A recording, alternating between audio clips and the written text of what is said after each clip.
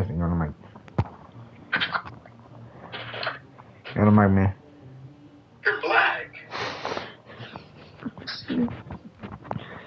Bro, get on the, that's a clip, bro. I'm not gonna lie.